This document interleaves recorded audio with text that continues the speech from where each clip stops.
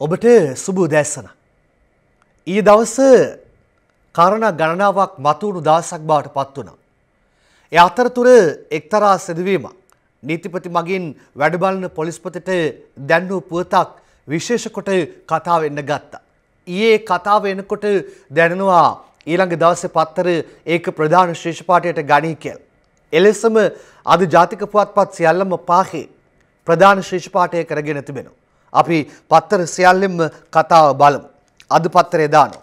හේමසිරි හා පූජිත් වහා අත්අඩංගුවට ගන්න. නීතිපති වැඩබලන පොලිස්පතිට නියම කරයි. දින පහකට පෙර නිකුත් කළ නියෝගයට අනුව කටයුතු නොකිරීම ගැන හේතු දක්වන ලෙසත් දන්වයි. බුද්ධිමාල් රුබේරු ලියන්නේ. පාස්කු ඉරිදා බෝම්බ ප්‍රහාරය වළක්වා ගැනීමට හෝ එම ප්‍රහාරයේ බලපෑම අඩු කර ගැනීමට ක්‍රියා නොකිරීම සම්බන්ධයෙන් හිටපු ආරක්ෂක ලේකම් හේමසිරි ප්‍රනාන්දු සහ අනිවාර්ය නිවාඩු ගන්වා සිටින පොලිස්පති පූජිත් ජයසුන්දර වහාම සැකකරුවන් වශයෙන් අත්අඩංගුවටගෙන අධිකරණයට ඉදිරිපත් කරන ලෙස නීතිපතිවරයා වැඩබලන පොලිස්පතිවරයාට නියම කර තිබෙනවා. පාස්කු ඉරිදා බෝම්බ ප්‍රහාරය වළක්වා ගැනීමට හෝ එම ප්‍රහාරයේ බලපෑම අඩු කර ගැනීම සඳහා ක්‍රියා නොකිරීම මගින් හිටපු ආරක්ෂක ලේකම්වරයා මෙන්ම අනිවාර්ය නිවාඩු ගන්වා සිටින පොලිස්පතිවරයා ප්‍රබල ලෙස රාජකාරිය පැහැර ඇති බව සඳහන් කරමින් ඔවුන් වහාම අත්අඩංගුවට ගන්නා ලෙස නියම කර ඇති නීතිපතිවරයා මිට දින පහකට පෙර නිකුත් කළ මෙම නියෝගයට අනුව කටයුතු නොකිරීම සම්බන්ධයෙන් හේතු දක්වන ලෙස වැඩබලන පොලිස්පති චන්දන වික්‍රමරත්නට ලිඛිතව නියම කර තිබෙනවා. මේ ඊයේ දවසේ කතාව මා දිගුව මේ අද පත්තරෙන් කියා සිටින්නම්. පාස්කු ඉරිදා බෝම්බ ප්‍රහාරය සම්බන්ධයෙන් විමර්ශනය කිරීම සඳහා ජනාධිපතිවරයා විසින් පත් කරන ලද විජිත් මලල්ගොඩ කොමිසමේ අතුරු වාර්තාවේ සඳහන් නිර්දේශ මෙන්ම පාස්කු ඉරිදා බෝම්බ ප්‍රහාරය වළක්වා ගැනීමට හෝ එම ප්‍රහාරයේ බලපෑම අඩු කර ගැනීමට ක්‍රියා නොකිරීම සම්බන්ධයෙන් හිටපු ආරක්ෂක ලේකම් හේමසිරි ප්‍රනාන්දු සහ අනිවාර්ය නිවාඩු ගන්වා සිටින පොලිස්පති පූජිත් ජයසුන්දර සහ තවත් අයවලුන්ගේ නොසලකිල්ල හෝ පැහැර හැරීම සම්බන්ධයෙන් කරනු ලබන අපරාධ විමර්ශනය අනුව නීතිපති ජනාධිපති නීතිඥ දප්පුලද ලිවෙලා එලෙස නියම කළ බව නීතිපතිවරයාගේ සම්බන්ධීකරණ නිලධාරිණී රජයේ ජ්‍යෙෂ්ඨ අධිනීතිඥ නිශාරා ජයරත්න දැනුම් දෙනවා. මේ ඒ කතාපුවත අද පත්තර ප්‍රධාන ශිෂ්පාටය කරගන්න. කාරණාව මා සඳහන් කළා එමනම් අනිත් පත්තරවල ප්‍රධාන ශිෂ්පාටික අපි ඉක්මනින් බලාගෙන යමු. මේ මව්බිම් පත්තරේ. හේමසිරි පූජිත් වහාම අත්අඩංගුවට ගන්න. නීතිපති වැඩබලන පොලිස්පතට නියෝග කරයි. කමල් මහේන්ද්‍රයි වාර්තාව ගේන්නේ. ඒක මොහොම බලන්න. අද ලංකාදීප පත්තරෙත් එයමයි ඉන්නේ ඒ දෙන්නමයි. පූජිත් හේමසිරි අත්අඩංගුවට නියෝගය කඩකලාට නීතිපති පොලිස්පතිගෙන් නිදහසට කරුණු අහනවා මනෝප්‍රිය ගුණසේකර ලියන්. අර ලෙස නියම කිරීමක් කරනවා ඒ අතර නියෝගයක් කඩ කිරීම පිළිබඳව නීතිපති පොලිස්පතිගෙන් හේතු විමසා සිටීමත් ඊයේ දවසේදී දක්නට ලැබුණා. අදිවයින පත්තරේ ප්‍රධාන ශිෂ්පාටයත් මෙන්න තියෙනවා එයම තමයි. රාජකාරිය පැහැර හැරියයි චෝදනා පූජිත් සහ හේමසිරි අධිකරණයට ගේන්න නීතිපති වැඩබලන පොලිස්පතිට නියෝග කරනවා. ඒ.ජේ. අබේනායක වාර්තා කරන්නේ. අද ආරම්භක කාරණා විදියට ගත්තේ එම කතාපුවත. ඊළඟට මෙන්න කතාවක් එයත් අද පත්තර ගණනාවකම තියෙනවා. ඒ කවුද කියලා නිශ්චිතව මේවායි හඳුන්වන්නේ නැහැ. හැබැයි යම් ඉංගියක් යම් තැනක දෙන ආකාරයක් පෙන්눔 කරනවා. ඒ ඉංගිය දෙන තැනට යන්න කලින් කාරණාව කුමක්ද කියලා මා ඔබට කියන්නම්. අද ලංකාදීපේ දානවා. අධ්‍යක්ෂකවරියගේ කෝටි පහමාරක බැංකු ගිණුම සොයයි. නිමන්ති රණසිංහලියන්. සැක ගණදුණු පරීක්ෂණයට තවත් බැංකු 6ක ගිණුම් 12. පෞද්ගලික ඉදිකිරීම් ආයතන 3ක අධ්‍යක්ෂකවරියකු කෙදර් මොහොමඩ් සහබ්දීන්ගේ අයිෂා නැමැත්තියගේ පෞද්ගලික බැංකු ගිණුමකට බැර වූ රුපියල් පන්කෝටි පනස් ලක්ෂයකට අධික මුදලකට අදාළ සැක්කටයුතු ගණදුනු සම්බන්ධයෙන් පුළුල් පරීක්ෂණයක් ආරම්භ කර ඇතැයි මූල්‍ය අපරාධ විමර්ශන කොට්ටාශය කොළඹ ප්‍රධාන මයිස්ත්‍රාත් ලංකා ජාරත්න මෙනවියට ඊයේ දැනුම් දුන්නා. වෙන කතාපුවතක් ඊ ආපු එකක්. අධ්‍යක්ෂකවරියගේ කෝටි පහමාරක බැංකු ගිනුම් සොයයි කියලා ඉදාන්න කෝටි පහමාරක් ලැබුණු හැටි ගැන. අද මවබිම් පත්තරෙත් ඕක දාලා තියෙනවා. මෙන්න මවබිම සැකසහිත ගන්දනුවක්. සහබ්දීන් අයිෂාගේ සමාගමේ කොටස් ආයෝජන තොරතුරු උසාවිය ඉල්ලයි. හන්සි නානායක්කාර ලියන්.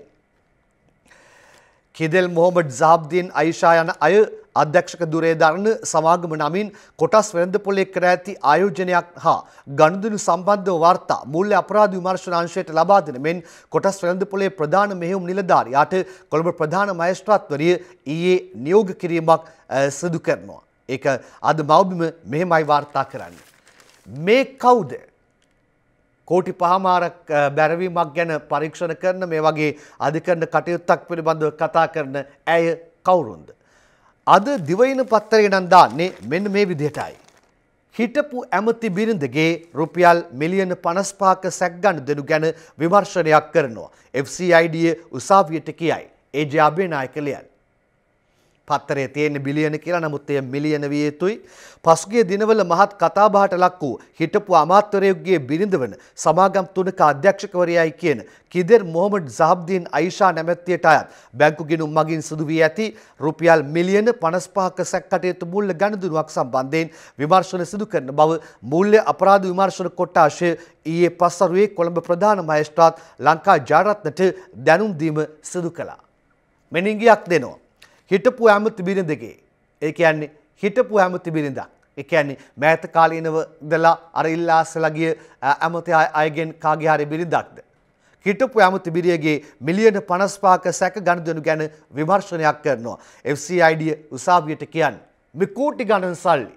බරපතල චෝදනා පහුගිය වක්වානු ආවා සමහර අයට කෝටි ගණන් මුදල් බැරවෙලා තිබෙනවා. කෝටි ගණන් මුදල් ලංකාවට ඇවිල්ලා තියෙනවා. ඒ වගේ කාරණා ගණනාවක් පහුගිය දවස්වල කතාබහට ලක් වුණා. දැන් මේ පත්තරයට අනුව හිටපු ඇමති බිරියගේ සැක් ගනුදෙනුවක් ගැන විමර්ශන කරන්නේ කෝටි පහමාරක් කියලා ඒකේ දාලා තියෙනවා. මේ අතරේ අද මව්බිම් පත්තරේ දානවා තේරීම් කාර්ක සභාව රිෂාඩ් නිවැරදි කරු කළොත් නැවතත් විශ්වාස භංගයක් ගේනවා. ප්‍රසාද් මංජුලියන්නේ. හිටපු අමාත්‍ය රිෂාඩ් බදුදීන්ට එල්ලවී තිබෙන බරපතල චෝදනා වලින් ඔවුන් නිදහස් කිරීමට පාස්කිරදා ප්‍රහාරය ගැන සාබලන පාර්ලිමේන්තු විශේෂ තේරීම් කාර්ක සභාව ක්‍රියා කළහොත් පෙරටත් වඩා චෝදනා සමග රිෂාඩ් බදුදීන්ට එරෙහිව විශ්වාස භංග යෝජනාවක් පාර්ලිමේන්තුවට ඉදිරිපත් කිරීමට ඒකාබද්ධ විපක්ෂය තීරණය කර ඇති බව පියුතුරු හෙළවුරුමේ නායක එක්සත් ජනතා නිදහස් සන්ධාන මන්ත්‍රී උදේ ගම්මන්පිල මව්බිමට සඳහන් කිරීමක් කරනවා. එවයි ගම්මන්පිල කියලා තියෙන. කලින් කතා කලා අපි හිටපු ඇමති බිරිඳගේ ගනුදෙනුවක් පිළිබඳව දැන් කතා කරනවා උදේ ගම්මන් පිල්ලා කියනවා රිෂාඩ් නිවැරදි කර කළොත් නැවතත් විශ්වාසවංගයක් ගේනොයි කියලා. මේ අතරේ තේරීම් කාරක සභාව. දහවෙන්දට කැඳවා තිබෙනවා කියලා තමයි දැනගන්න ලැබුණේ දායසිරි ජයසේකරව. ඔහු කැඳවූ පළවෙනි දවසේ ඔහු ගියේ නැහැ. ඔහු ඒ පිළිබඳව තර්කයක් ගොඩනගනවා. ඒ තර්කය අපි ඒ දවසේ කතා කළා. හැබැයි දැන් තේරීම් කාරක සභාව නම් කියන්නේ මෙහෙමයි. තේරීම් කාරක සභාවට දයාසිරි නාවොත් ක්‍රියාමාර්ගයක් ගන්නවා. රුචිර දිලාන් වාර්තාව ගේන්න. බලමු ඔවුන් මොකද්ද කියන්නේ කියලා. ඔවුන් සඳහන් කරන කාරණාව පාර්ලිමේන්තු මන්ත්‍රී දයාසිරි ජයසේකර ලබන 10 වෙනිදා පාස්කු ඉරිදා ප්‍රහාරය ගැන සොයා බැලීමට පත් කළ විශේෂ පාර්ලිමේන්තු තේරීම් කාරක සභාව හමුවට කැඳවා ඇති බවත් යම් ලෙසකින් ඊට සහභාගී නොවුනහොත් අවශ්‍ය ක්‍රියාමාර්ග ගන්නා බවත් ඒ සභාපති නියෝජ්‍ය කතානායක ආනන්ද කුමාරසිරි මව්බිමට සඳහන් කිරීමක් කරනවා. මෙන්න තියෙනවා දාලා. අපි දැනුම් දීලා තියෙනවා ඔහුට 10 වෙනිදා කාරක සභාව හමුවට එන්න කියලා බලාපොරොත්තු වෙනවා ඒ කියලා ආවේ නැත්නම් ඉදිරියට ගන්න ඕනෙ ක්‍රියාමාර්ග ගන්නවා යැයි ආනන්ද කුමාරසිරි සඳහන් කරන. ඔවුන් තේරීම් කාරක සභාවේ බලය පිළිබඳු නැත්තං ඒ තියෙන නෛතිකමය ස්වභාවය පිළිබඳු විමසිලිමත් වෙද්දී දයසිරි තවත් තර්කයක් ගොඩනගනවා. මේ අතරේ වහා විරෝධී ජනරැලිය අනිද්දා නුගේ ගොඩිදී පැවැත්වෙනවා. වාහබන්තවාදයට එරෙහි ජනතා ව්‍යාපාරයෙන් අනිද්දා සවස තුනට නුගේගොඩ ආනන්ද සමරකෝන් එලිමාන් රංගපීඨයේදී ජන රැලියක් පැවැත්වෙන බව එහි කැඳවුම්කරු මහාචාර්ය ඉන්දුරාගාරයේ ධම්මරතන හිමියෝ සඳහන් කිරීමක් කරනවා. හොඳයි. අපි යමු තවත් කතා කීපයකට. වසන්ත සමරසිංහ දැන් මෙවර කරන අනාවරණය නැත්තම් මෙවර එල්ල කරන චෝදනාව කුමක්ද? රාජ්‍ය වැවිලි සංස්ථාවේ FD වලින් ලක්ෂ අසුවක් අතුරුදන් අනුරාධා හේරත්ගේ සටහන. ඇමති ලක්ෂ්මන් කිරියල්ල යටතේ පවතින රාජ්‍ය වැවිලි සංස්ථාවේ දෙදස් පාලවිසිට මේ දක්වා ගිනුම් වාර්තා සකස්කොට නැති බවත් ඒ ස්ථාවර තැන්පත්වල තිබූ රුපියල් ලක්ෂ අසුවකට ආසන්න මුදලක් අතුරුදන්ව ඇති බවත් දූෂණ විරෝධී හඬ කැඳුම් කරු වසන්ත සමරසිංහ මව්බිමට කියනවා. සමරසිංහ පවසන්නේ හුන්නස්ගිරිය තේවත් හරහා ණයටගත් රුපියල් මිලියන දෙකක තේ දළුවලට මෙතෙක් මුදල් නොගෙවා පොළු තබා ඇති අතර ඊට අදාළ ලේඛන තමා වෙත ලැබී ඇති බවයි. රාජ්‍ය වැවිලි සංස්ථාවට අයත්ව ඇති තේවතු 14ක් පවතින අතර 2015 වන තෙක් වසරකට එපෙව් සමස්ත ආදායම රුපියල් මිලියන 700ක් වූ බවත් මේ වන විට එහි ගිණුම් වාර්තා සකස් කර නොමැති බැවින් දැවැන්ත වංචාවක් සිදු කරන බවත් සිදුවන බවත් ඔහු සඳහන් කිරීමක් කරලා තියෙනවා. සුළුපටු නෑල්ලවන චෝදනාව දෙදස් පාලවින්දන් මේ දක්වා ගිනුම් වාර්තා සකස් කොට නැහැයි කියලා කියනවා ඒවා ඇතින් ස්ථාවර තැන්පත් තුළ තිබුණු ලක්ෂ අසුවකට ආසන්න මුදලක් අතුරුදන් නැති බවට එල්ලවන චෝදනාවක්. ඒ චෝදනාව සුළුපටු නෑ. දැන් සේනාධිරාජා කරලියට එන්න දරන ප්‍රයත්නයක් මේ. සේනාධිරාජා ආණ්ඩුවට මාස තුනක් කල්දේ ලක්ෂ්මී ජයකොඩි එලියන්. මොකටද සේනාධිරාජා කල් දෙන්නේ? සේනාධිරාජා මොකටද එන්න හදන්නේ? මෙන්න සටහන්. දෙමළ ජනතාවගේ ඉල්ලීම් සම්බන්ධයෙන් ඉදිරි මාස තුනක කාලයක් ඇතුළත ආණ්ඩුව විසින් අවංක වූත් විශ්වසනීය වූත් විස්තුමක් ලබා දීමට අපෝසත් වන්නේ නම් ප්‍රජාතන්ත්‍රවාදී අරගලයක් මගින් ඒ සඳහා වන විස්තුම ලබා ගැනීමට සූදානම් බව සඳහන් යෝජනාවක් ඉලංගේ තමිල් අරසු කච්චි 16 වෙනි සමුළුවේදී සම්මත වී තිබෙනවා. මෙම යෝජනාව පක්ෂ නායක මාවී සේනාධිරාජා ඉදිරිපත් කොට ඇති අතර එය ඒකමතකව සම්මත වී තිබෙනවා. ඔන්න කතාවක් දෙමළ ජනයාගේ ඉල්ලීම් සම්බන්ධයෙන් මාස 3ක කාලයක් ඇතුළත ඉල්ලීම් ඉටු නොකළොත් සිදු කරන්නට යන කාරණාවක් මෙතන තියෙන්නේ ප්‍රජාතන්ත්‍රවාදී අරගලයක් මගින් ඒ සඳහා වන විස්තුම් ලබා දීමකට සූදානම් කියලා. හැබැයි අද මව්බිම් පත්තරේම මේ සේනාධි රාජා කියපු කතාවට ටිකක් ඉහලින් ආර් සම්බන්ධයෙන් ඉන්නවා. ඔහු කියන කතාව නම් පත්තරයට අනුව මෙන්න මෙහෙමයි. ජාතික ගැටලුවට විසඳුම් සන්නද්ධ අරගලයක් නම් ඒ ගැන හිතන්න වෙනවා. ලක්ෂ්මී ජයකොඩිලියන්. මේ තියෙන සටහන ජාතික ගැටලුවට විසඳුම් ළඟා කරගත හැක්කේ ආයුධ සන්නද්ධ අරගලයක් මගින් පමණක් යයි සිතන්නේ නම් ඒ පිළිබඳ සිතා බැලීමේ අවශ්‍යතාවක්ද පැන නැගී තිබෙන බව දෙමළ ජාතික සන්ධානයේ නායක ආර් සම්බන්ධන් පවසනු. ඕ මේ බව පවසා ඇත්තේ ඉකුත් 30 වෙනිදා යාපනයේ වීරසිංහම් ශාලාවේදී පැවති තමිල් අරසු පක්ෂයේ 16 වෙනි සමුළුව අමතමින් අර ඉස්සලා කිව්වේ 16 වෙනි සමුළුව ගැනයි මම. මේදී හෙතෙම පෙන්වා දී ඇත්තේ LTT සංවිධානයේ බිහිවීමට හේතු වී ඇත්තේ දෙමළ ජනතාවගේ ගැටලු දීර්ඝ කාලයක් තිස්සේ නොවිසදී දීර්ඝ කාලයක් ඔවුන් රැවටීමට ලක්වීම නිසා බවයි. ඔවු LTT බිහිවීමට හේතු සාධාරණීකරණය කිරීම වගේ සොරයකින් නේද ස්වරූපයකින් කියපු ආකාරයක් මෙතනදී පෙන්눔 කරන අතරේ කිව්වලු මේ පත්තරේ සටහනට අනුව ජාතික ගැටලුවට විසඳුම් ළඟා කරගත හැක්කේ ආයුධ සන්නද්ධ අරගලයක් මගින් පමණක් යයි සිතන්නේ නම් ඒ පිළිබඳ සිතා බැලීමේ අවශ්‍යතාවක් පැන නැගී තිබෙන බව.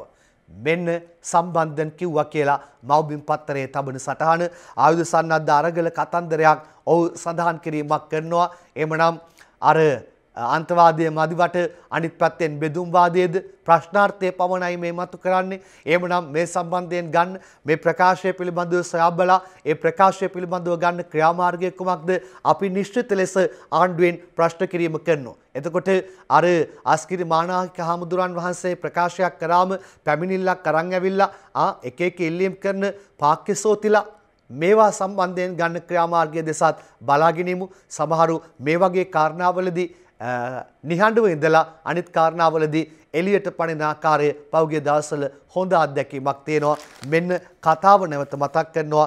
ජාතික ගැටලුවට විසඳුම් සන්නද්ධ අරගලයක් නම් ඒ ගැන හිතන්න වෙනවා සම්බන්ධන් පවසා ඇතැයි පත්තරයක් ලියනවා.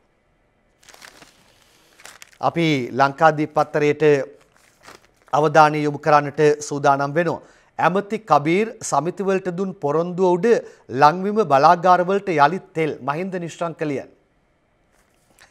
කොළඹ වරාය සිට කොළොන්නාවේ තෙල් ගබඩාව දක්වා අලුතින් යොදාගෙන යන නල පද්ධතිය අවසාන කොටස ඉදිකිරීමට ඇමති රවි කරුණානායක බාධා කිරීම පිළිබඳ විරෝධය පළ කිරීම හේතුවෙන් විදුලි බල මණ්ඩලයේ බලාගාරවලට ඩීසල් සහ දැවිතෙල් සැපීම අත්හිටුවමින් ලංකා කණ්ඩතෙල් සංස්ථාවේ සියලුම වෘත්තීය සමිති පෙරේදා මධ්‍යම රාත්‍රියේ සිට ක්‍රියාත්මක කළ වෘත්තීය ක්‍රියාමාර්ගයේ දහවල් 12 සිට අත්හිටු බව කණ්ඩතෙල් සංස්ථාව විධායක නිලධාරීන්ගේ සංගමේ භාණ්ඩාගාරික සඳහන් කරනවා. හැබැයි ඔවුන් කියනවා හෙට දවසත් බලනවා මේකට විස්තුමක් එන්නේ නැත්නම් නැවත සිකුරාදා ඉඳන් තමන් සිකුරාදා ඉඳන් තමන්ගේ වෘත්තීය ක්‍රියාමාර්ගයට යනවා මේ මීටර 140යි තියෙන්නේ ඒක අත්‍යවශ්‍ය කාරණාවක් කියලා ඔවුන් ඊයේ සඳහන් කළා. ඒ අතරේ තාත්තගේ පුතා ඇල්ලුව. පියාගේ පොලිස් රැකවලාට පහරදුන් මන්ත්‍රී පුතා හතරවෙනි දාතෙක් රිමාන් හලාවත ඔගස්ටින් ලියන්. ඇබති ආරක්ෂකයෙක්ගේ පොලිස් කොස්තාපල්වරයෙකුට පාරදීම සම්බන්ධයෙන් අත්අඩංගුවටගෙන අධිකරණයට ඉදිරිපත් කරනු පුත්තලම දිස්ත්‍රික් එක්සත් ජාතික පක්ෂ පාර්ලිමේන්තු මන්ත්‍රී සිසිර කුමාර අබේසේකරගේ වැඩිමහල් පුත්‍රයා ලබන හතරවෙනි දාතෙක් රිමාන්ඩ් භාරයේ තැබීමට හලාවත මහේස්ත්‍රාත් සහ අතිරේක දිසා විනිසුරුවරයා ඊයේ නියෝග කරනවා.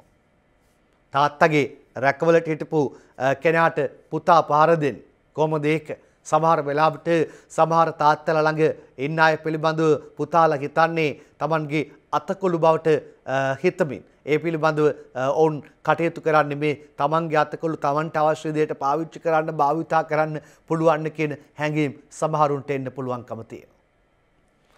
හොඳයි. දැන් මා ඔබත් එක්ක යන්න සූදානම් වෙන්නේ මේ දවස්වල නිරන්තර කතාවට නිරන්තර මාතෘකාවට. මොකද්ද? එක එක ඒවා කියවේ. ඇයිද අප්පා දවසකට මාතෘකානම් කීයක් සපයනවද එනවද? මම මේ කියන්නේ මරණීය දණ්ඩනය ගැන. පෝරකයට නියමුවන්ගෙන් හතරක් තෝරා එල්ලා මැරීම අයිතිවාසිකම් උල්ලංඝනයක්. මරණ දඬුවම නියම වූ සිරකරුවන් 8ක් ඇතුළු 10ක්ගෙන් පෙත්සමක් රංජන් කටුගම්පොළ සහ තිල්නිදි සිල්වා ලියන. මරණ දඬුවම නියම වූ සිරකරුවන් අතරින් ජනාධිපතිවරයාගේ නියෝගය පරිදි සිව් දෙනෙකු තෝරා එල්ලා මැරීමේ එල්ලා මැරීම නීතියට පටහැනි බවත් එමගින් සිරකරුවන්ගේ මූලික අයිතිවාසිකම් කඩවන බවත් සඳහන් කරමින් එලෙස එල්ලා මැරීමට ගෙන ඇති තීරණය ක්‍රියාත්මක කිරීම වළක්වාලන අතුරු නියෝගයක් ඉල්ලා මරණ දඬුවම නියම වූ සිටින සිරකරුවන් 8 දෙනෙක් සහ සිවිල් ක්‍රියාකාරිකයන් ඇතුළු 10 දෙනෙක් ශ්‍රේෂ්ඨාධිකරණ යාමුවේ ඊයේ මූලික අයිතිවාසිකම් පෙත්සමක් ගොනු කළා. මේ දවස්වල මාතෘකාව මෙලෙස පෙත්සමක් ගොනුවීම අද පත්තර වාර්තා කරනවා. මේ අතරතුරේදී අද දිවයින පත්තරේ දානවා වැලිගෝනි එල්ලා එල්ලුම් ගා ටෙස් කරයි. නෝමන් පාලිය වඩන ලියන්නේ. වැලිගෝනි එල්ලා එල්ලුම් ගසේ ක්‍රියාකාරීත්වය පරීක්ෂා කර බැලීමට කටයුතු කළ බව බන්ධනාගාර කොමසාරිස් ජනරාල් තෙන්නකෝන් දිවයිනට ඊයේ සඳහන් කිරීමක් කළා. හතර දෙනෙක්ගේ කතාපුවතක් ආවා. අත්සන් තැබූ කතාපුවත කියවුණා. ඒ පිළිබඳ විවිධ ප්‍රතිචාර ලැබෙමින් ඉන්නවා. විවිධ දේශපාලන ධාරාව Tamanගේ ස්ථාවරයන් ප්‍රකාශයට පත් කරමින් ඉන්නවා. ඒ වගේම මේ කාරණාවට එරෙහිව පෙත්සම් අධිකරණය හමුවේ ගොනු වෙමින් පවතිනවා. ඒ අතරතුරේදී අද එනවා වැලිගෝනි එල්ලා එල්ලුම් ගා ටෙස් කරයි කියලා පුවතක්. මේ අතරේ අපි මව්බිම් පත්තරයට යනවා. කිරියල්ල මේ හා සම්බන්ධ කරන ප්‍රකාශයක් ගැන අවධානය යොමු කරන්න. මරණ දඬුවම ක්‍රියාත්මක කිරීම ජනපති තීරණය ගැන විවාදයක් දෙන්න. කිරියල්ල සූදානමින් ප්‍රසාද් මංජු ඉලියන්. ඒ පිළිබඳ විවාදයක් ලබා දීමේ සූදානමක් ගැනයි වාර්තා කරලා තියෙන්නේ. මරණ දඬුවම ක්‍රියාත්මක කිරීමට ජනාධිපතිවරයා ගෙන තිබෙන තීරණය සම්බන්ධයෙන් පාර්ලිමේන්තු මන්ත්‍රීවරුන්ට විවාදයක් අවශ්‍ය නම් ඒ සඳහා පාර්ලිමේන්තු විවාදයක් ලබා දීමට තමන් සූදානම් බව මේ ලක්ෂ්මන් කිරියල්ල මව්බිමට සඳහන් කිරීමක් කරනවා. හර්ෂව කීපයක් ඒ පිළිබඳව අදහස් පළ කළා. හිටපු ජනාධිපති විපක්ෂ නායකවරයා සඳහන් කළා නොවෙනවා නම් හොඳයි කියන කතාවක්. එතකොට අග්‍රාමාත්වරයා සඳහන් කළා ඒකට තමන්ගේ පක්ෂය ප්‍රතිපත්තිවලට පටහැනී කියලා මේ අතරේ ඊයේ ජනාධිපතිවරයා ඒහා සම්බන්ධව නැවත ප්‍රතිචාර දක්වන ආකාරය පෙන්නුම් කළා. අපි ඒ පිළිබඳව අද සටහන් කීපයක්ම පත්තරවල තියෙනවා. පළමුව බලන්න මේ ලංකාදීප පත්තරේ. මරණ දඬුවමට එරෙහිවන ආණ්ඩුව මද්‍රව්‍ය මර්ධනයට දුන් සහාය කුමක්ද? ජනපතිගෙන් විපක්ෂයට සහ එන්ජියෝ වලටත් ප්‍රහාරයක් ආරියරත්න රණබාහු වාර්තා කරන්නේ. ඒ වගේම අද ජනාධිපතිවරයා කළ ප්‍රකාශයක් මව්බිම දානවා. මෙහෙමයි ඒ වාර්තාවේ තියෙන්නේ. හිරේ ඉන්න ප්‍රබල පාතාලයෝ කුඩු දේශපාලකයන්ගේ නම් වමාරනවා පහන් විජේසේකර ලියන්නේ. ජනාධිපතිවරයා අදහස් කීපයක් පළ කළා. එක තැනක අහනවා මරණ දඬුවමට එරෙහිවන ආණ්ඩුව මධ්‍යව මර්ධනයට දුන් සහාය කුමක්ද කියලා. තව තැනක අහනවා හිරේ ඉන්න ප්‍රබල පාතාලයේ කුඩු දේශපාලකයන්ගේ නම් වමාරනවා කියලා. එතකොට තවත් තැනක කියනවා පක්ෂයේ ප්‍රතිපත්ති හැටියට වැඩ කළා නම් මේ අවුරුදු හතරමාරේ මෙහෙම වෙන්නේ නැහැයි කියලා. එක්සත් ජාතික පක්ෂයේ පැත්තට. එතකොට ඒ අතරේ මෙන්න මෙහිමත් ජනාධිපතිවරයා කියනවා. මේ දිවයින පාස්කු ඉරිදා ත්‍රස්ත ප්‍රහාරයට ජාත්‍යන්තර මද්‍රව්‍ය ජාලයේ සම්බන්ධයි කුෂාන් සුබසිංහ ලියන්නේ. ජනාධිපතිවරයා මේ බව ප්‍රකාශ කළ තැනට යනවා ඒ වගේම තවත් පාර්ශව අදහස් පළ කළා. ජාතික මද්‍රව්‍ය නිවාරණ සතියේ බස්නාහිර පළාත් සමුළුව කොළඹ සුගතදාස ග්‍රහස්ත ක්‍රීඩාංගණයේදී ඊයේ පෙරවරුවේ පැවැත්වුණා.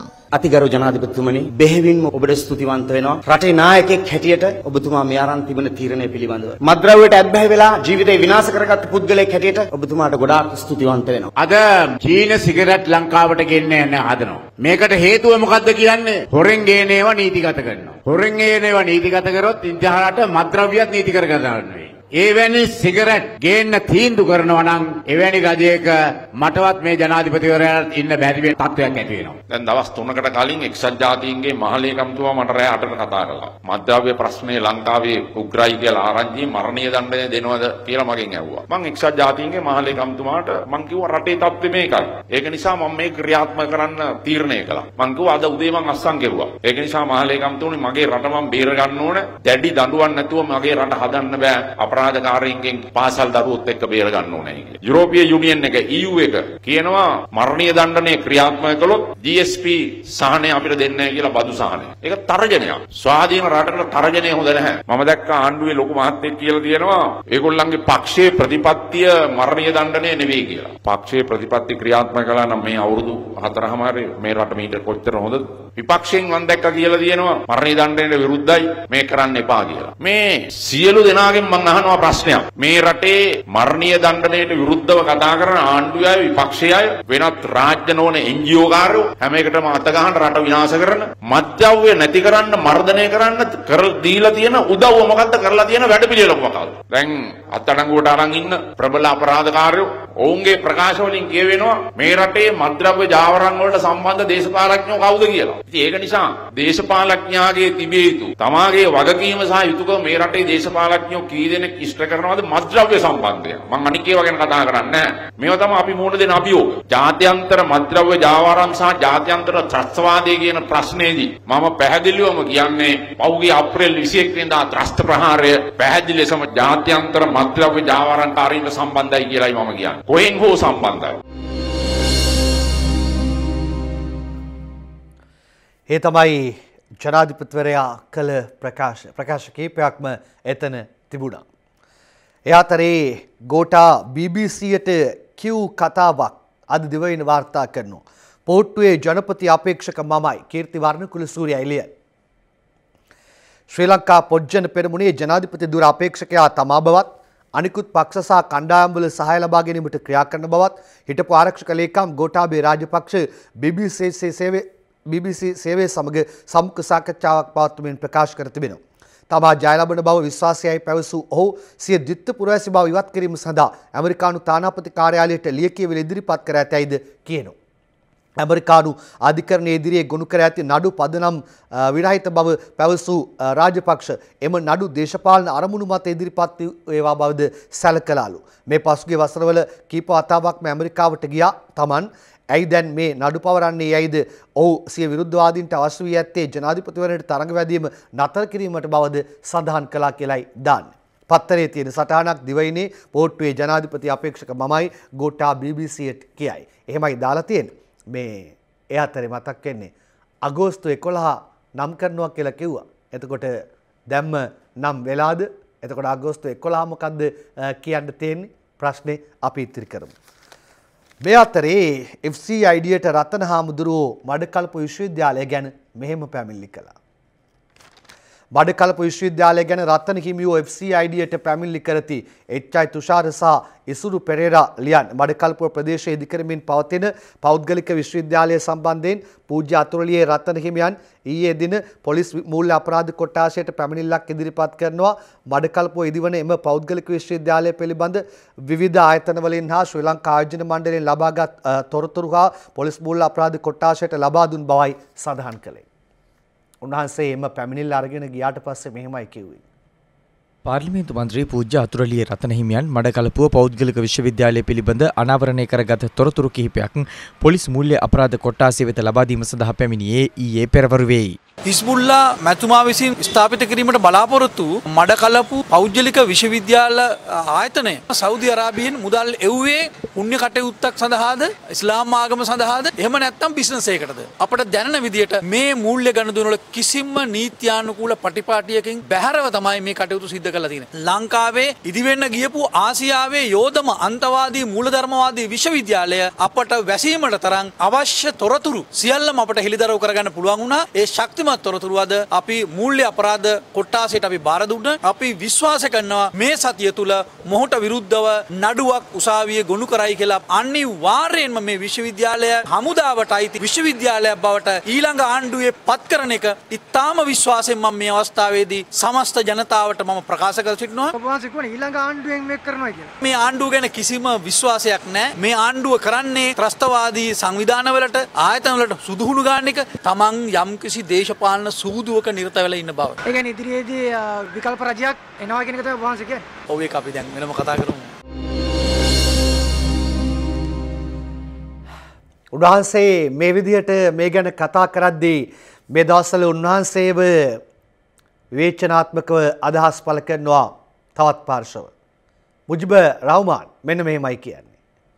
ලංකාදීප පෙන්nu පුටා ගන්නේ. රතන හිමිගේ ප්‍රකාශවලින් දෙමළ ඩයස්පෝරාවේ කතා සනාත වී ජාත්‍යන්තර මැදිහත්වීමකට මඟ පෑදෙනවා. මුදිතා දයානන්ද ලියන්නේ. රටේ නීතිය විශ්වාස නැහැ. අපරාධ පරීක්ෂණ දෙපාර්තමේන්තුවේ පරීක්ෂණ ගැන විශ්වාසයක් නැහැ කියලා රතන හාමුදුරුවන් කරන ප්‍රකාශවලින් අ, ද්‍රවිඩ ඩයස්පෝරාව කියන දේ සනාත වී ඔවුන්ට අවශ්‍ය ජාත්‍යන්තර මැදිහත්වීමට මඟ පෑදෙනවායයි මුජිබ රහමාන් සඳහන් කිරීමක් කරනවා. මුජිබ රහමාන් එහෙම කියද්දී අසාද් සාලි මොකක්ද කිව්වේ රතන හාමුදුරන් ඉලක්ක කරගනිමින් මේමයි අසාද් සාලි කිව්වේ. රටම ප්‍රශ්නයක් නම් ආණ්ඩුවනේ රතන හාමුදුරුවන්ගෙන්. එයා තමයි දැන් ඉන්න විසබීජේ. දැන් එයා ජාතික නායකයෙක් බවට පත් වෙලා ඉන්නවා. ඒ කියන්නේ යාපනයේ ජනතාවගේ ප්‍රශ්නෙට විසඳුම් දෙන්නෙත් රතන හාමුදුරුවෝ. නැගෙනහිර ජනතාවගේ ප්‍රශ්නෙට විසඳුම් දෙන්නේ එයා. එතුමා කවදාවත් රට ගොඩ ගත්තේ නැහැ. හැමදාම රටට කෙලනිකම් කරලා රට විනාශ කරන එකේ ලොකු ප්‍රයත්නයක් එතුමා දැරුවයි කියලා අද ස්වාමීන් වහන්සේලා වීඩියෝ ඕන තරම් දාලා තියෙනවා. CID එකත් කියලා තියෙන රිචාඩ් බදුරුදීන් මහතා මේවට සම්බන්ධ නැහැ කියලා. සම්පූර්ණයෙන්ම රතන හාමුදුරුවෝ ගෙනිච්ච බොරුව කියන එක දැන් මේ වෙනකොට ඔප්පු වෙලා තියෙන්නේ. අපි ගන්න ක්‍රියාව දාමේ තව දවස් 10ක් යනකොට ඔයගලන්ට තේරෙයි. රතන හාමුදුරුවෝ කොයිද ඉන්නේ කියලා ඉතින් බලමු. අද දෙවෙන්දා තව දවස් 10ක් ඇතුළත කියලා කියන්නේ 12 වෙනිදාට හෝ ඊට පෙර ආතුව ඔවුන් ගන්න ක්‍රියාමාර්ගය ගැන අපි බලාගෙන ඉමු දවස් 10ක් ඇතුළත 12 වෙනිදා එතකොට එතනදී රතන හමුදුරු ඉන්න තැන කොතැනද කියලා පෙනෙයි කියලයි අසාද් සාලි කියන්නේ. විරාමයක්.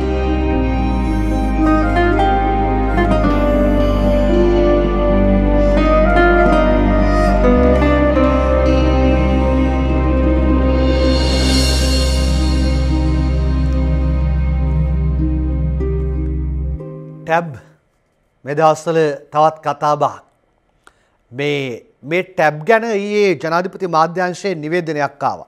උසස් පෙළ සිසුන්ට ටැබ් ජාතික පාසල්වල නියම ව්‍යාපෘතියක් ලෙස පමණයි.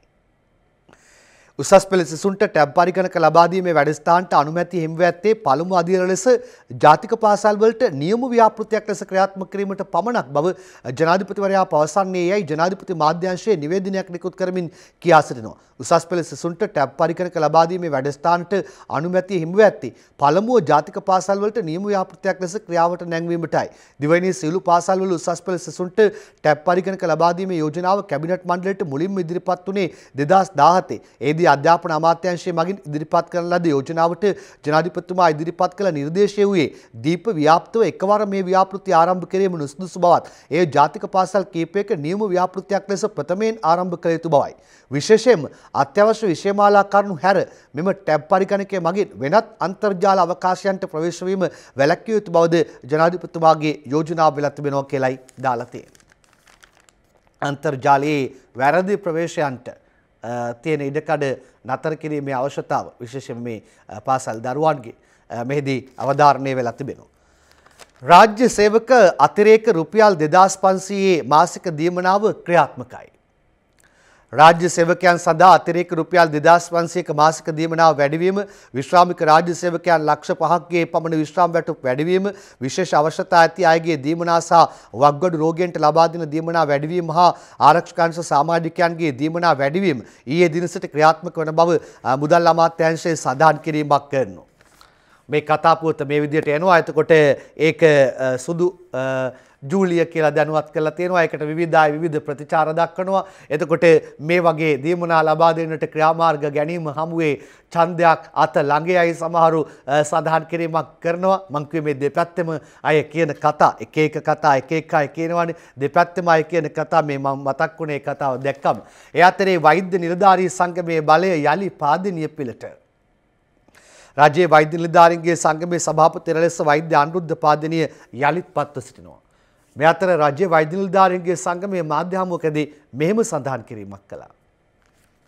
අපි රාජ්‍යසේනාර්ථයට එහිව මේ චෝදනා ගොනු කළේ නිකන් නෙමෙයි. දැනටත් අපි මේ කියපු සියලුම කාරණාවල වගකීම අපි දරනවා. ඒ වෙනුවට තමයි අද බොහොම නිර්ලජ්ජිත විදිහට මැර සංස්කෘතිය කළුතර දිස්ත්‍රික්කයේ තුල නිදැල්ලේ හැසිරෙන්න ඉඩ දීලා රාජ්‍යසේනාර්ථ ඇමතිවරයා බලාගෙන ඉන්නේ. ඒතර අද වෙනකොට රාජ්‍යසේනාර්ථගේ ගෙදර උයන්නේ ඉන්නේ කවුද පවා කියන එක ඒ රාජ්‍යසේනාර්ථගේ වටේ ඉන්න අයම අපිට එලි දක්වමින් ඉන්නවා. ගුවන් හමුදා බටයෝ තමයි ගෙදර කුස්සිය උයන්නේ. ඒතර මේවා යහපාලනයේද? රාජ්‍යසේනාර්ථ මේ වෙනකොට එවලා තියෙනවා එන්තරාවාසියක්. මේ එන්තරාවාසිය නෑ එතුමාගේ කීර්තිමත් ඉතිහාසය තුල සිද්ධ වෙච්ච ගොඩක් දේවල්. එතුමාට අමතක වෙච්ච එතුමාගේ කීර්තිමත් ඉතිහාසය අධිකරණය තුලදී එතුමාට සිහිපත් කරලා දෙන්න රජයේ වෛද්‍යාරික සංගම විදිහට අපි බොහොම ආසාවෙන් බලාගෙන ඉන්නවා. එතකොට දැන් එතුමා කියනවානේ එතුමා බොහොම දක්ෂ කතිකයෙක් කියලා. එතකොට අපි අහන්නේ ඔච්චර ඔරේටන, ඔච්චර අවුට්ස්පෝකන් ක්‍රිටික් නා. ඇයි රාජිත සේනාරත්න බය? රජයේ වෛද්‍යනිලධාරීන්ගේ සංගමේ විවාදයකට එන්න. එයාට ඕන නම් එයාගේ තව පිරිස අරන් එන්නත් පුළුවන්. එන්න අපි ඕනම නාලිකාවක් විවාදයක් කරමු. ඔබතුමා කරපුවද හරි, අපි කියන කතාවද හරි කියලා. අපි ලෑස්ති සාක්ෂි සහිතව ඔප්පු කරන්න මේ රටේ ජනතාවට කොහොමද බාල බේත් පෙව්වේ? ఔෂධ වලින් කොහොමද වංචා වුනේ? මේ සියලුම කාරණා සාක්ෂි සහිතව පෙන්වන්න අපි සූදානම්. ඒ විවේචන ඉදිරියේ පුළුවන් නම් නිදොස් වෙන්න ජනතාධිකරණ ඉස්සරහ. එහෙමයි වෛද්‍යවරු සඳහන් කිරීම කළේ. මේ අතරේ මේ අනිත් අය හරිහම්බ කරගත්ත දේවල් හොරාගෙන කොල්ලකාගෙන යන අය ඉන්නේ. එතකොට ව්‍යාපාරික කටයුතු වලට මුදල් හදල් එහාට මෙහාට ගෙන යද්දී ඒවා ගැන බලලා ඔත්තු හොරෙන් අරගෙන අ, ඒක කුමන්ත්‍රණකාරී ලෙස පැහැරගෙන කොල්ලකාගෙන යන අය ඉන්නේ. මේ අය සම්බන්ධයෙන් දැඩිව ක්‍රියාත්මක කළ යුතුව තිබෙනවා. කාලයක් දිගට හරහාට තිබුණා දැනුත් වරින් වර මතුවෙනවා. ඊයේ එවැනි දෙයක් වැරදුනා. අකුරැස්ස ලක්ෂ 29 කොල්ලේ තිදෙනෙක් සල්ලි සමග අත්අඩංගුවට. අකුරැස්ස නගරයේ ප්‍රසිද්ධ මූල්‍ය ආයතනයක් සතු ලක්ෂ 29ක මුදලක් බැංකුගත කිරීමට රැගෙන යද්දී ගිනියවියක් පෙන්වා බිය ගන්නවා. එම මුදල් කොල්ලකා පලාමින් සිටි පුද්ගලයන් දෙදෙනෙකු හා ඊට ආධාර අනුබල දුන් බව කියන එම මූල්‍ය ආයතනයේ මුදල් අය කැමිද ඊ අත්අඩංගුවට ගත් බව අකුරැස්ස පොලිසිය සඳහන් කරනවා. දැඩි ක්‍රියාමාර්ග ගත යුතුව තිබෙනවා මේ කොල්ලකරුවන්ට කොල්ලකරුවන් හේතු කොටගෙන බිය සංකා කොයිතරම්නම් එනවද නේද? එතකොට මේ වගේ මූල්‍ය ආයතන වලින් හොරකම් කරද්දී බලන්න ඇතුලෙන් ඔත්තු ලැබෙන ආකාරයන් ගැන වරින් වර වාර්තා වෙන ආකාරය දැන් මෙතනත් සැකපිට අයෙක් ඇල්ලුවා කියලා කතාව තියෙනවා. මේ අතර ඔබට මතකද අර මාර සැමියෙක් ගැන අපි ඊයේ කතා කළා. ඒ සැමියාගේ කතාව අද ලංකාදීපයේ තවත් දිගුවක් එක්ක වාර්තා කරලා තියෙනවා. පොළඟ දෂ්ටයකින් බිරිඳ මරන්න හැදූ ව්‍යාපාරික සැමියා ආගිය අතක් නැහැ. වාර්තාව ගේන්නේ ශ්‍රීනාත් ප්‍රසන් බුද්ධ්‍යංශ නිලධාරීන්ද යොදවයි කියලා දාලා තියෙනවා මං හිතන්නේ පොළඟට නෙමේ සැමියා හොයන්නේ. පොළඟකු දෂ්ට කිරීමට සලස්වා සිය බිරිඳ ඝාතනය කිරීමට කුමන්ත්‍රණය කළ බව කියන එම කාන්තාවගේ සැමියා අත්අඩංගුවට ගැනීමට සොයන අතර ඔහු ආගිය අතක් සොයා ගැනීමට තාම නොහැකි වූ බව ගම්පා මූලස්ථාන පොලිසිය සඳහන් කරනවා. පොළඟගෙන් අහනවද නැත්නම් අර අහිකුන්ටයාගෙන් අහනවද කියලා ප්‍රශ්නාර්ථය තිබ්බේ. ඊට කලිනුත් කාන්තාවට ණයක් ගහලා තිබුණා කියලා ඊයේ පත්තරේ තිබුණා. ඒකත් සැකයි කියලා හොය හොයනවා කියලා. මාස තුනකට කලින් ණයක් ගහනවා දැන් පොළඟෙක් දාලා ඝාතනය කරන්නට උත්සාහ දැරීමක් පිළිබඳවයි කතා පුවත දාලා තියෙන්නේ. හොඳයි අපි ඇතුල් පිටු වාර්තා වලට දැන් යමු. ලංකාවේ ඇමරිකා කඳවුරු හදන්න කිසිදු වමනාවක් නැහැ. ශ්‍රී ලංකා ඇමරිකානු තානාපතනිය කියයි හර්ෂණ තුෂාර ලියන්නේ. ශ්‍රී ලංකාව තුළ ඇමරිකානු කඳවුරක් ස්ථාපිත කිරීමට කිසිදු සැලසුමක් හෝ උවමනාවක් නැතැයි ශ්‍රී ලංකාවේ ඇමරිකානු තානාපතනිය සඳහන් කරනවා. ඇමරිකා එක්සත් ජනපදය සහ ශ්‍රී ලංකාව අතර ඉදිරියේදී අත්සන් කිරීමට යෝජිත ද්විපාර්ශ්වික ආරක්ෂක ගිවිසුම හෙවත් සෝෆා ගිවිසුමේ ඇතැම් වගන්තිවලින් ශ්‍රී ලංකාවේ ස්වෛරීභාවයට හානි වන බවට පළ වූ මාධ්‍ය වාර්තාවලට ප්‍රතිචාර දක්වමින් ඇය එහෙම කියනවා. බරපතල ලෙස විවේචනයට බඳුන් වන කතාවක් මේ ගිවිසුම තානාපතනය එහෙම කියනවා. ඒ අතරේ අද ලංකාදීපයට සටහනක් අරගෙනෙනවා මේක ද සන්ඩේ ටයිම්ස් දේශපාලන විශ්ලේෂකගේ සටහනක් සිංහල පරිවර්තනයක් ශ්‍රී ලංකාවේ ස්වෛරීභාවය ගැන සහතික විය හැකිද. ප්‍රශ්නාර්ථය ඒමයි අහන්නේ. මංගලගේ කතාව ඇත්තනම් ගිවිසුම පාර්ලිමේන්තුවට ඉදිරිපත් නොකළේ ඇයි එහෙමත් ප්‍රශ්න කිරීමක් කරනවා. ශ්‍රී ලංකාවේ ස්වෛරීභාවය ගැන සහතික විය හැකිද. අර එල්ල කරන චෝදනා හමුවේ ඒ සහතිකය ලබා දිය හැකිද යලි යලි ප්‍රශ්නාර්ථය එනවා. මේ අතර ඔබ දන්නවා අර පෞගිය දවසක කළුතර දිස්ත්‍රික් සමාප්තියේ ත්‍රෛනිකායක භික්ෂු එකමුතුව පැවැත් වූ හමුව ඒ හමුවේදී හාමුදුරන් වහන්සේ කීප නමක් කළ ප්‍රකාශ දැඩි ලෙස අවධානයට පාත්‍ර වුණා. පහුගිය දවස්වල අපි ප්‍රවෘත්ති තුරුනුත් පත්තර විස්තරය තුරුනුත් ඒ ගැන කිව්වා. අද ඇවිල්ලා තියෙනවා ඒක මව්බිම් පත්තරයට නැවත උපුටා ගන්න. කළුතර දිස්ත්‍රික් තෛනිකායක භික්ෂු බල මණ්ඩලය මෙතැන්දි කියවුණු කාරණා භික්ෂූන්ට අපහාස කළ සර් ජෝන්ගේ UNP අටට බැස්සුවෙත් මේ රටේ සංඝයා වහන්සේගේ එකමුතුකමයි. මේදී දිමුල්කුමුරේ විමල ධම්ම මල්වතු අනුනාහිමියෝ කිව්වා මේ රට කෑලිවලට කඩන්න හදන මේ පාලකයන්ට නැවත මේ රට බාර දිය යුතු නැහැයි කියලා. එතෙන්දි මහාචාර්ය ඉන්දුරාගාරයේ ධම්මරත්න හාමුදුරුවෝ කිව්වා චෝදනා එල්ල වූ බොහෝ මැති ඇමතුරු දොස්තරලා ආණ්ඩුවේ සහායෙන් අද නිදහස් වෙනවා කියලා. මැදගම ධම්මානන්ද හාමුදුරුවෝ කිව්වේ මේ රටට ව්‍යසනයක් සිදුවන හැම විටම දේශපාලඥයා බලන්නේ ඒකෙන් වාසියක් ගන්න විතරයි කියලා. ඒම සඳහන් කිරීම් කෙරුණේ. කුමාර වෙල්ගම්. ඔහු ඉන්නවා අද මව්බිම් පත්තරේ. පවුල් පාලනයට අකමැති ශ්‍රී ලංකා නිදහස් පක්ෂයේම සිටිමින් ඉදිරි දේශපාලන ගමන යාමට තීරණය කළා. ශ්‍රීරාන් රණසිංහ එහෙම සඳහන් කරන්නේ ඔහුගේ නව ප්‍රවේශය පිළිබඳව. තමන්ගේ නව ප්‍රවේශය ගැනයි ඔහු එහෙම සඳහන් කරන්නේ. ඔහු කියන්නේ පවුල් පාලනයට අකමැති කියලා. එතකොට කළුතරම ඉන්න රෝහිත අභයගුණවර්ධන නම් කියන්නේ මෙන්න මෙහෙමයි. ගෝටාගේ ජනාධිපතිවරණ ජය වලක්වන්න සක්කරයාගේ පුතා වයිම ආවත් බැහැයි කියලයි ඔහු සඳහන් කිරීම කරන්නේ ඔහු කරපු තවත් ප්‍රකාශ කීපයක් අද මව්බිම් පත්තරේ වාර්තා කරන ආකාරයක් තමයි පෙන්눔 කරන්නේ අවුරුදු හතරක් කරපු කළු වැඩ සුදු කරන්න ආණ්ඩුව සුදු ජූලියක් පටන් අරන් කියලා රෝහණ දිසානායක ඒදී සඳහන් කිරීමක් කළා. විරාමයක් කරන් ඇවිත් තවත් ඇතුල් පිටු වාර්තා බලමු.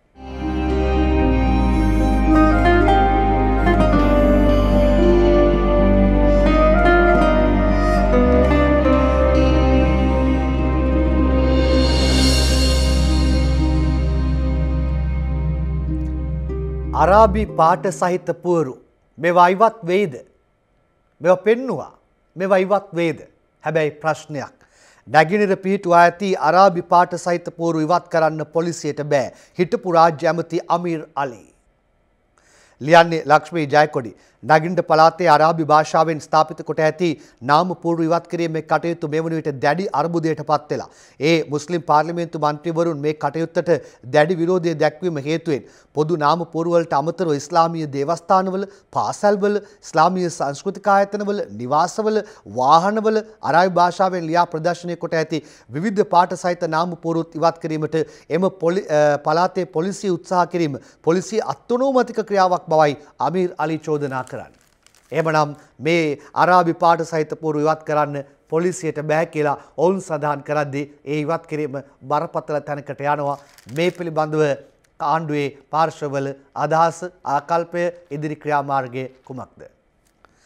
ඊළඟට මෙන්න මේ කතාව ගැන අවධානය යොමු කරන්න පොලිසියම නිලයක් දරන කෙනෙක් කියලලු ප්‍රමාණවත් පොලිසිලධාරින් පිරිසක් නැතිව බස්නාහිර ආරක්ෂාව ගැටලුවක්. කඩවත උදාර ලියන්නේ. බස්නාහිර පළාත තුළ පොලිස් නිලධාරීන්ගේ දැඩි හිඟයක් පවතින බැවින් ආරක්ෂක කටයුතු සඳහා නිලධාරීන් යෙදවීමේදී යම් දුෂ්කරතාවයන්ට මුහුණ දීමට සිදු ඇති බව කැලණිය කොට්ටාශ භාර සහකාර පොලිස් අධිකාරී චන්දන ලියනගේ සඳහන් කිරීමක් කරනවා. සහකාර පොලිස් අධිකාරිවරයෙක් කියලා තියෙන්නේ පොලිසිය ඉහළම තනතුරෙන් අපි අහනවා මේ කාරණාව ගැන අවධානය යොමු කරනවාද මෙහෙම තත්ත්වයේ ප්‍රමාණවත් පොලිස් දාර්ථ්‍යන් පිරිසක් නැතුව බස්නාහිර ආරක්ෂාව ගැටලුවක්ද මෙන්න අවධානය සඳහායි. එ අතරේ දිනසේන රතුගමගේ ලියනවා යාපනයේ සටන්කාමී වූ දෙමළ සන්ධානයට විරෝධය පළ කරති. ප්‍රජාතන්ත්‍රවාදී සටන්කාමීන්ගේ පක්ෂය තිස්වනිදා යාපනයේදී දෙමළ ජාතික සන්ධානයේ නායකයා ඇතුළු පිරිසට විරෝධය පළ කරමින් විරෝධතාවයක් පවත්වා තිබෙනවා. විදෙස් වාර්තා සහ ක්‍රීඩා වාර්තා අතරට යන්න සූදානම් වෙන්නේ ඊට කලින් මෙවන විට ශ්‍රී ලාංකික ජනතාව කතා කරන විශේෂ මාතෘකාවකට අවධානය යොමු කරන්න සූදානම් වෙනවා. හිරුට 21යි දවස් 21කින් දස ලක්ෂ ප්‍රතියන් 21යි. එතකොට ඔක්කොම ලක්ෂ 210යි. පෙර නොවිරු ආකාරයේ මුදල් කන්දරාව ඔබ අපේ වත්කම නිසාමමයි. ඔබ සූදානම් වෙන මොහොතේ ඒ සූදානමට දැනුවත් කිරීම මෙන්න. හිරු සංවත්සරක උත්තමාචාර පුදන සමයයි. ශ්‍රී ලංකයේ මාධ්‍ය ඉතිහාසයේ එදා මෙදාතුර දැමැන්තම තෑගි කන්දරාව ලබා දෙමින් හිරු විසි එක්වන සංවත්සරය වෙනුවෙන් සෑම දිනකම රුපියල් ලක්ෂ දාය බැගින් දවස් විසි එකක් පුරා දසලක්ෂපතියන් විසි එක් දෙනෙක් තෝරා ගැනීමට හිරු TV සූදානම්. සිය ප්‍රේක්ෂකයන් වෙනුවෙන් හිරු පුදන මේ අසම සම සත්කාරය තවත් දින අටකින් ආරම්භ වනවා. ඒ හිරුට විසි එකයි දවස් විසි එකින් දස ලක්ෂපතියන් විසි එකයි වැඩසටහනෙන්. දිනකට ලක්ෂ දහය බැගින් දවස් විසි එකට ලක්ෂ දෙසිය දහයයි. දිනපතා රාත්‍රී හතයි තිහේ සිට රාත්‍රී නවය පනස් පහ දක්වා හිරු ටෙලි පෙරහැර නැරඹීමෙන් ඔබටත් දස ලක්ෂපතියෙක් වීමට අවස්ථාව හිමි වනවා. ශ්‍රී ලාංකේය මාධ්‍යක්ෂේත්‍රයේ ප්‍රේක්ෂක ඔබට මෙවැනි අති දැවන්ත මුදල්ත්‍යයාග පිරිනැමෙන පළමු හා එකම අවස්ථාව මෙයයි. සිය විසි එක් වන සංවත්සරයේදී හිරු සමග බැඳුණු සැමට මෙලෙස රුපියල් කෝටි දෙකකට අධික අති දැවන්ත මුදල්ත්‍යයාග පිරිනැමෙන්නේ. හිරු සතු වටිනාම වස්තුව ඔබ නිසාවෙනි.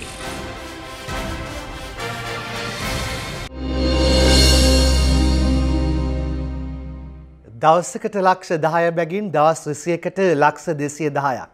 ඒ අප සතු වටිනාම වස්තුව සම්පත ඔබ නිසාමයි. විදෙස්වාර්තාතරට යන්ද රටෙන් එහාට දිවයින් විදෙස් පිටුව මෙන්න. කාරණා කීපයක් තියෙනවා හොංකොං වල තත්ත්වය නම් දිගටම මේ විදියයි හොංකොං වැසියන්ගෙන් දිගින් දිගටම චීනයට එරෙහි විරෝධතා විරෝධතා අවස්ථා කීපයක් චාරුපොළ දක්නට ලැබෙනවා. ඔබ දන්නවා ලෝක කාලගුණ විපර්යාස ගැන කතා වෙනවා. දන්නවද මෙක්සිකෝවේ තත්ත්වය? ලෝක කාලගුණ විපර්යාසය දරුණු අතට මේ ඔබට පේනවනේ ඡායාරූපේ. මෙක්සිකෝවේ නගරයක් අඩි 5ක් හිමෙන් වැසේ. අඩි 5ක් කිව්වම සෙල්ලක්ද? ඊළඟ කතා පුවත. වෙනිසුලානු ජනාධිපති ඝාතන උත්සාහයට අත්අඩංගුවටගත් නාවික හමුදා කපිතාන් පොලිස් පහර දීමෙන් මාරුට. අවසන් පූර්ව වටේ බලාපොරොත්තු අත්හැරුණු වෙලා වේ ජයග්‍රහණයක් පමා වී පැමිණීම.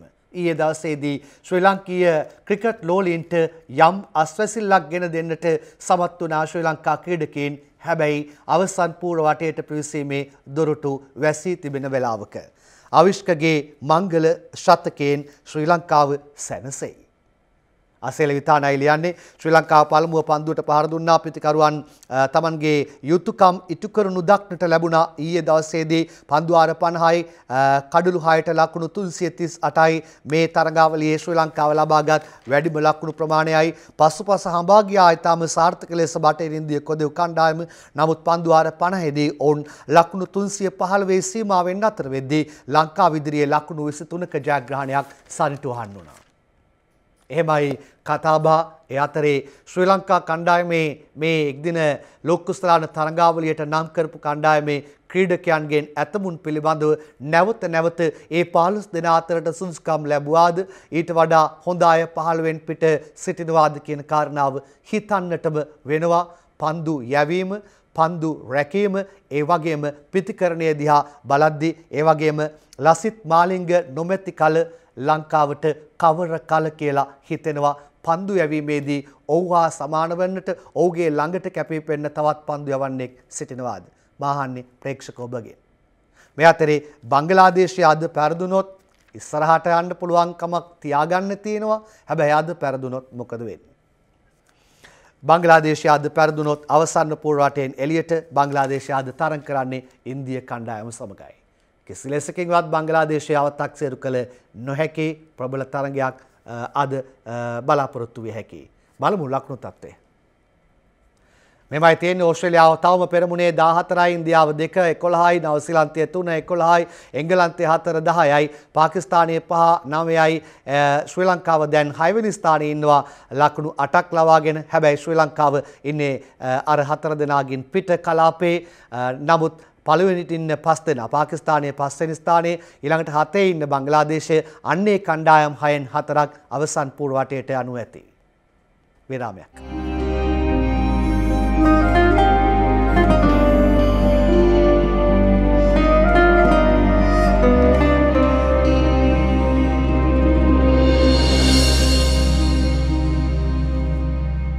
මෙන්න කාටුන් පෙළ ආරම්භ කරන්නේ දිවයිනේ ජාරත් වික්‍රමසිංහගේ ෆේක්බුක් පම්පෝරි ගාලා පටන් ගත්ත බස්මන්තීරුවත් ඈලියාවට ගිහිල්ලා.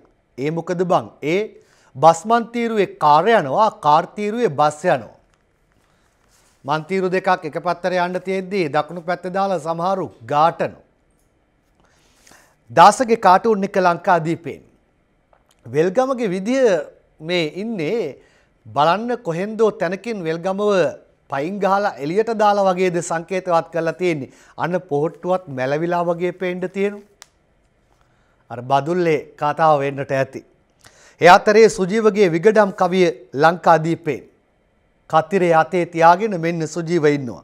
ඡන්දය නොදුන්නොත් මම ගෙලසිඳ ගන්නේ පස්ගිය දින මැකෝ නොවෑ මර හඬ දුන්නේ ඩිංගක් පමාවී මට මේ පවසන්නේ දිය රෙද්දෙන්ද ඒ කරගන්නට යන්නේ.